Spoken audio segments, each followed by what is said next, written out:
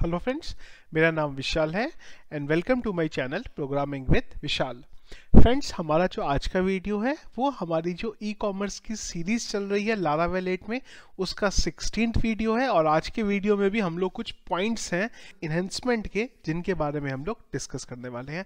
और उसके साथ साथ एक बहुत बड़ा इशू है हमारी कोडिंग में, जिसको भी हम लोग आज डिस्कस करेंगे। तो मैंने एक्चुअली में सोचा था, यही था कि कोई ना कोई ये पॉइंट ज़रूर बोलेगा, पर किसी भी वीडियो में मेरा ये पॉइंट आया नहीं है कोई भी।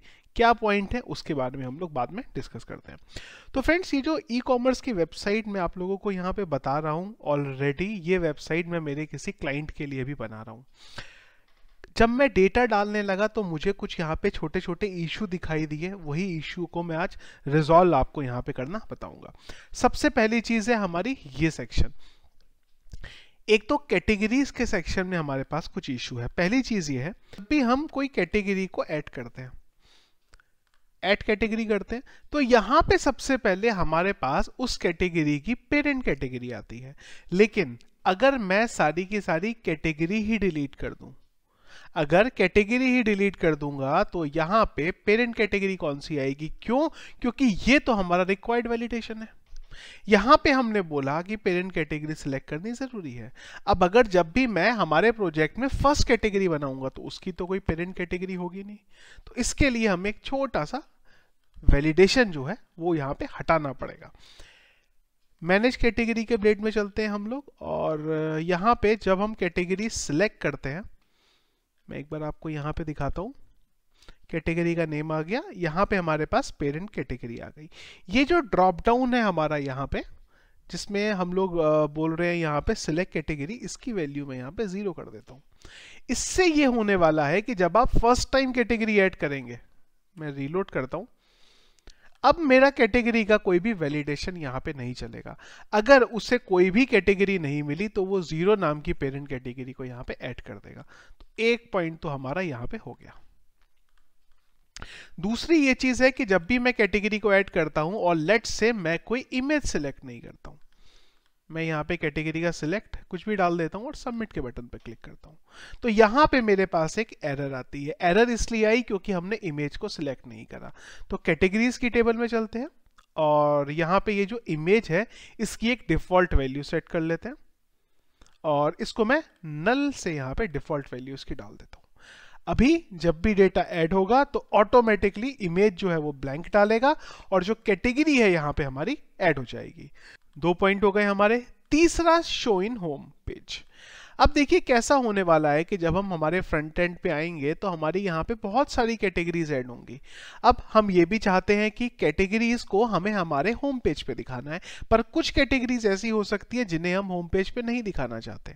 तो उसके लिए भी हमें यहाँ पे कुछ ऑप्शन बना के रखना पड़ेगा। तो मैं यहाँ पे एक चेकबॉक्स बनाऊँगा। अगर चेकबॉक्स यूज़र ने सिलेक्ट करा होगा, इसका मतलब वो कैटेगरी फ्रंट एंड पे आने वाली है। नहीं सिलेक्ट करा होगा तो वो कैटेगरी फ्रंट एंड पे नहीं आएगी। इसके लिए हम लोग चलेंगे यहाँ पे और एक फ़ील्ड ऐड कर देंगे। इन होम नाम से। इंटीजर है, ये ध्यान रखिएगा तो या तो यहाँ पे ज़ीरो जाएगा या फिर यहाँ पे वन जाएगा। ज़ीरो का मतलब ये है कि ये चीज़ होम पेज पे नहीं दिखेगी और वन का मतलब होगा कि ये चीज़ होम पेज पे दिखाई देगी।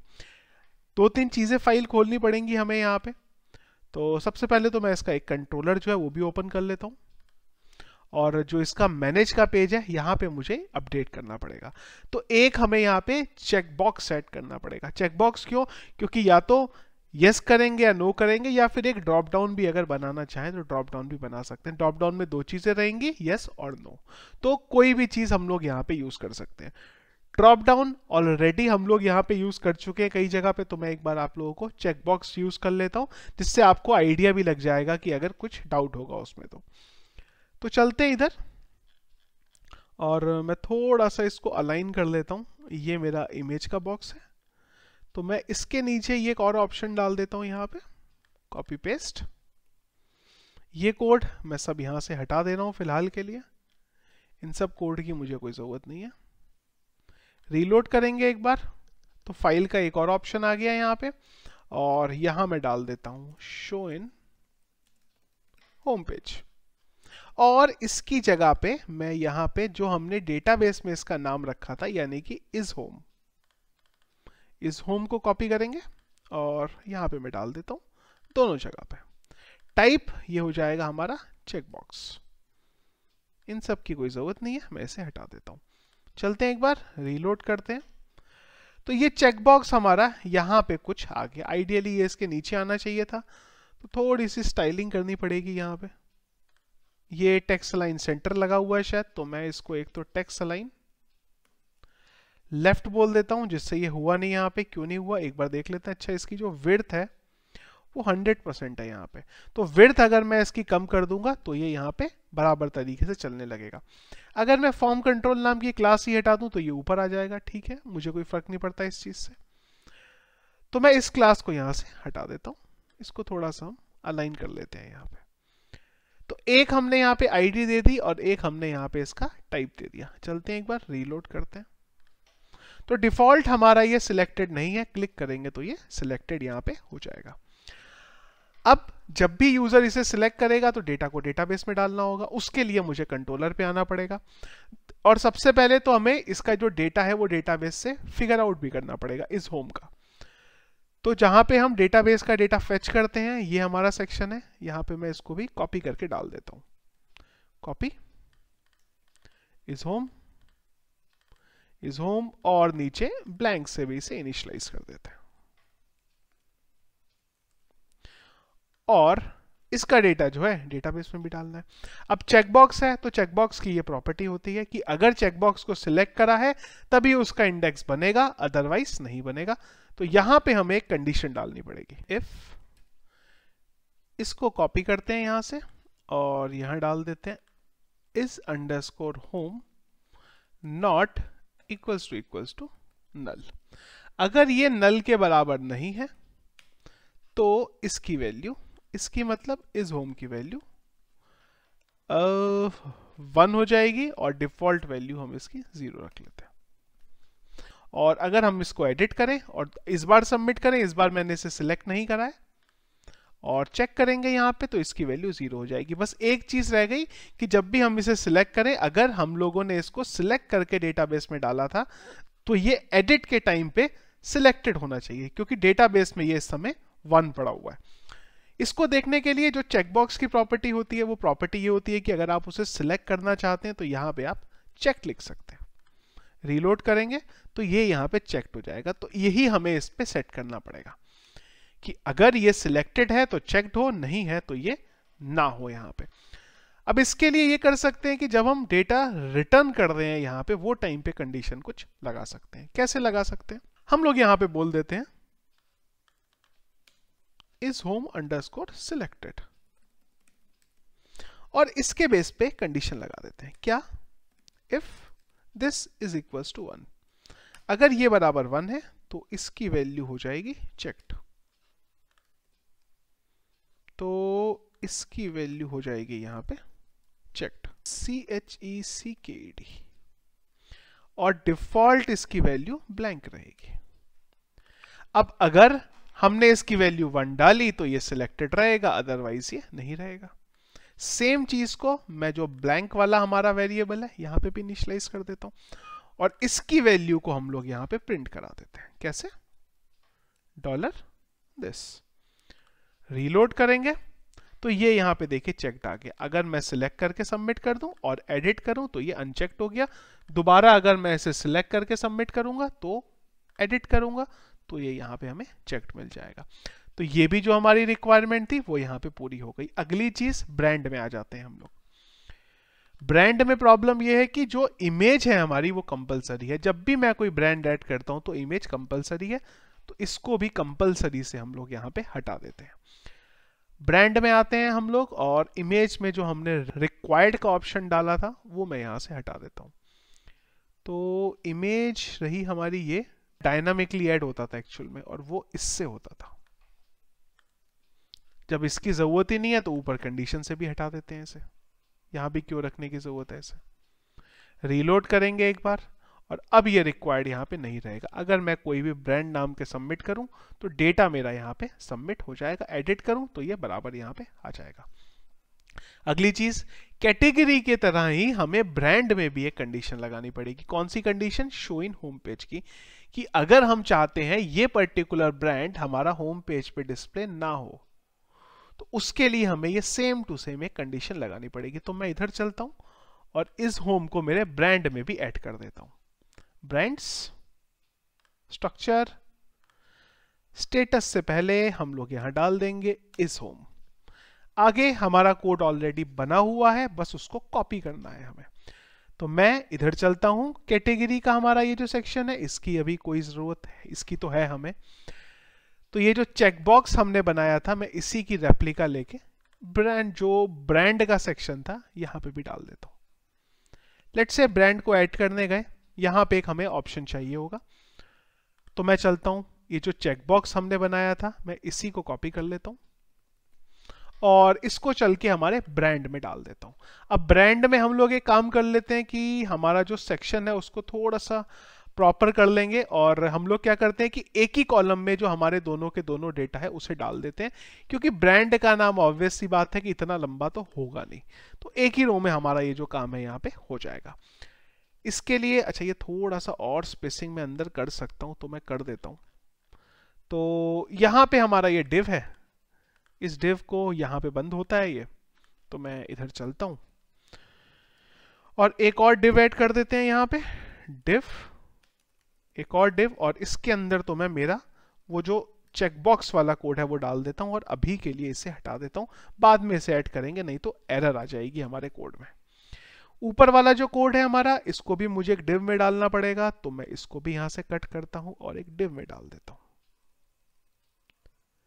एंटर और यहाँ पे हम कर देते हैं डिव और इसको थोड़ा सा थोड़ा सा अलाइन करके अंदर की तरफ़ कर देते हैं, जिससे हमारा ये जो कोड है, इसका जो अलाइनमेंट है, वो प्रॉपर तरीके से हो सके। तो ये डिव यहाँ बंद हुआ, ये डिव यहाँ बंद हुआ, एक इसमें क्लास ऐड करनी पड़ेगी क्लास हो जाएगी हमारी ये वाली। तो सिक्स सिक्स का मैं बॉक्स बना रहा हूँ, यहाँ पे इवन नाइन का एट का और फोर का बना लेते हैं यहाँ पे। इसको मैं कर देता हूँ यहाँ पे फोर एक बार करते हैं रिलोड ये आ गया नीचे, क्यों आया नीचे? क्योंकि रो नहीं डाला मैंने यहाँ पे। रो डालना मैं यहाँ भूल गया था। तो मैं इसको करता हूँ यहाँ से कट और एक और क्लास इसके अंदर डालते हैं बूट की। डिव बनाया हमने और इस डिव में एक क्लास डाल देंगे रो नाम से। यहाँ डाल देते हैं क्लास रो और इसके अंदर मैं ये जो मेरा सारा का सारा कोड हमने यहाँ बनाया है, मैं यहाँ पे इसे डम कर देता हूँ। एक बार रीलोड करते हैं तो ये चेकबॉक्स हमारा ऊपर की तरफ़ चला जाना चाहिए, जो चला गया। डेटा हमारा थोड़ा सा है, जो यहाँ पे जो सेट नहीं हो रहा है, वो इसलिए नहीं हो रहा है, क्योंकि हमने इसकी जो क्लास है, वो यहाँ पे नहीं दी है। ये नाम की क्लास तो इस बार इस वाले पे हम लोग ये क्लास दे देते हैं, नीचे आएँगे तो आई एम श्योर ये नीचे की तरफ़ यहाँ पे आ जाएगा। चलिए, इतना काम हो गया। अब हमें इस पे जो कंट्रोलर है, उस पर हमें देखना पड़ेगा और ये जो कैटेगरी का सेक्शन है, इसको मैं बंद कर देता हूँ। इसकी जगह पे मैं कंट्रोलर ओपन कर लेता हूँ हमारे ब्रांड का। ब्रांड का कंट्रोलर मेरा यहाँ पे ओपन हो गया। जो जो चीज़ें चेंज करनी है, वो मैं चेंज करता हूँ। और अब मेरे पास सारा डेटा इधर पड़ा है तो मैं यहीं से कॉपी करके डाल देता हूँ।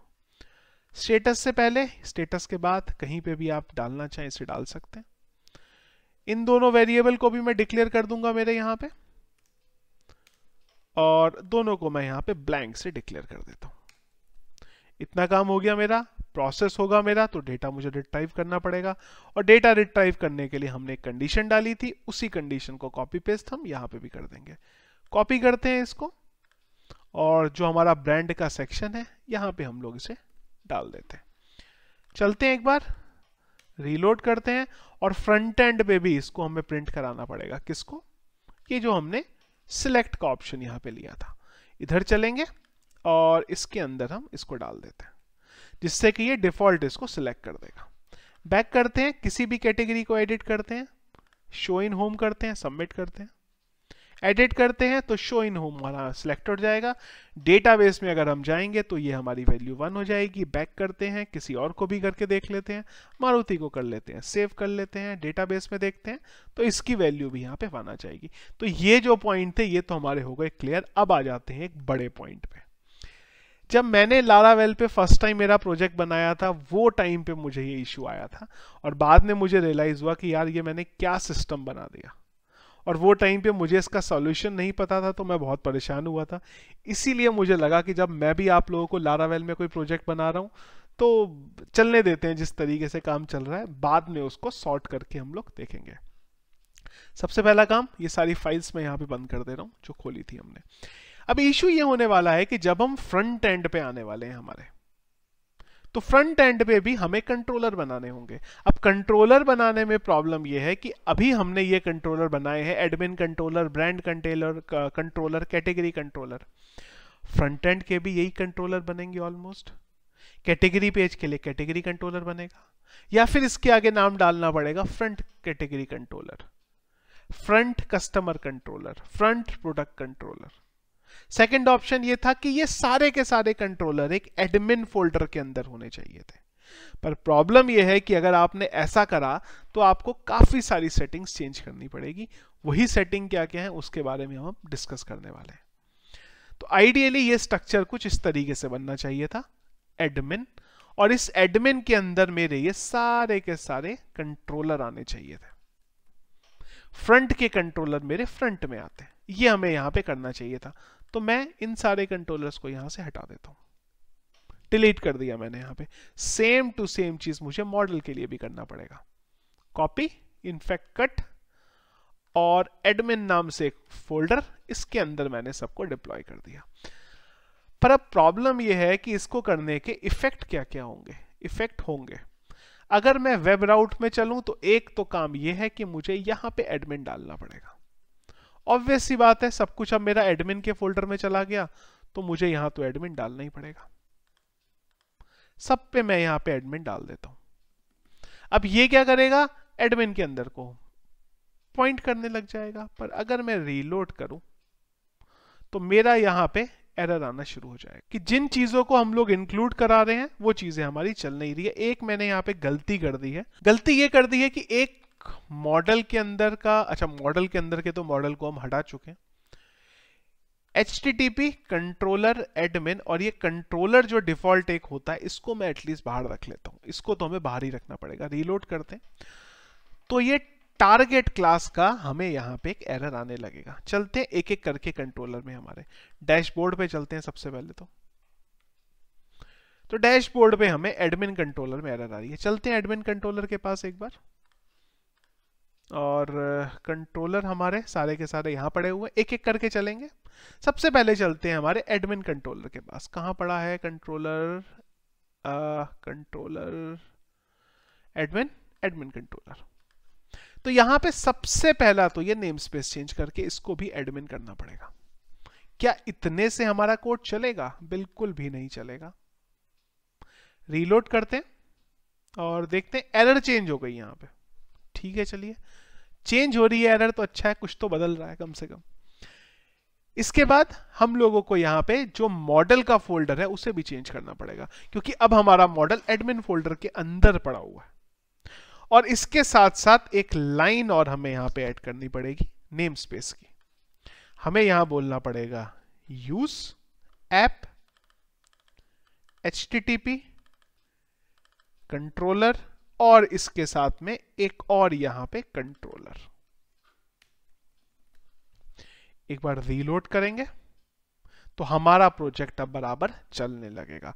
तो ये सेटिंग अब हमें हमारे सारे के सारे कंट्रोलर के अंदर जाके फिर से एक बार करनी पड़ेगी चीज़ों को चलाने के लिए। चलते हैं एक एक करके ब्रांड में चलते हैं एक बार। तो ब्रांड है हमारा यहाँ पे एडमिन के अंदर ब्रांड होना चाहिए था। एक और नेम स्पेस और यहाँ पे मैं स्लैश एडमिन कर देता हूँ। तो ये दो लाइन मेरी यहाँ पे आएँगी आएँगी और जो ब्रांड का मॉडल है मेरा, उसको मैं यहाँ से चेंज कर दूँगा। चलते हैं एक बार ब्रांड में। अगर ब्रांड ओपन हो रहा है तो सब कुछ बराबर चलेगा, पर ब्रांड हमारा यहाँ पे ओपन नहीं हुआ। चलते हैं एक बार। मॉडल एडमिन ये हमारा ब्रांड का मॉडल था। इसको मैं यहीं पे ओपन कर देता हूँ।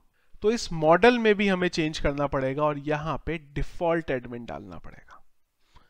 चलेंगे, रीलोड करेंगे तो हमारा कोड बराबर चलने लगेगा। तो ये चेंजेस अब हमें हर जगह पे करने पड़ेंगे बार बार फ़र्स्ट टाइम जब मैंने स्टार्ट किया था मेरा कोड तो मुझे इन चीज़ों के बारे में नहीं पता था और मेरा बहुत टाइम बर्बाद हुआ था इन चीज़ों के लिए। मुझे ये था कि एक बार आप लोगों का भी टाइम अगर खराब हो, पर हाँ जब टाइम खराब होता है, तब हमें सीखने को बहुत कुछ मिलता है। अगर ये सेम चीज़ मैं आपको शुरू में बता देता तो आपको इस चीज़ की वैल्यू समझ में नहीं आती। इसके लिए मैंने शुरू में आप लोगों को बताया नहीं। तो ये सारी जगह पे आपको चेंज करने पड़ेगा। हर जगह पे एडमिन के अंदर का यूज़ कर रहे हैं हम तो हमें हर जगह पे हमारा ये एडमिन को इंक्लूड करना पड़ेगा यहाँ पे। कलर तक हमारे चेंज हो गए यहाँ पे। कंट्रोलर के जो कोड है हमारे, सारे के सारे यहाँ पे चेंज हो गए हैं। इसे मैं बंद कर देता हूँ यहाँ पे। और अब हमारे रह गए हैं सारे के सारे कंट्रोलर के चेंजेस तो कॉपी करते हैं कंट्रोलर को। ब्रांड का कंट्रोलर और एडमिन कंट्रोलर इन दोनों को मैं बंद करता हूँ। इसके बाद के जो मेरे कंट्रोलर हैं, उन्हें ओपन कर लेते हैं। कैटेगरी कलर कूपन चलते हैं इधर।